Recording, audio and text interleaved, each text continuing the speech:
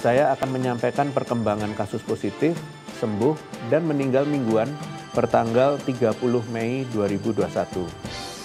Setelah pada minggu sebelumnya terjadi kenaikan kasus positif mingguan yang cukup tinggi, yaitu 36,8 persen, di minggu ini kenaikannya lebih rendah, yaitu naik 15,1 persen. Sedangkan di minggu lalu kita sudah mulai memasuki minggu kedua pasca libur Idul Fitri. Artinya, kenaikan kasus positif pada periode ini sudah dapat diklaim sebagai dampak dari libur Idul Fitri. Kenaikan kasus positif di minggu ini dikontribusikan oleh lima provinsi dengan kenaikan kasus positif tertinggi, yaitu Jawa Tengah naik 1.181, Riau naik 1.550,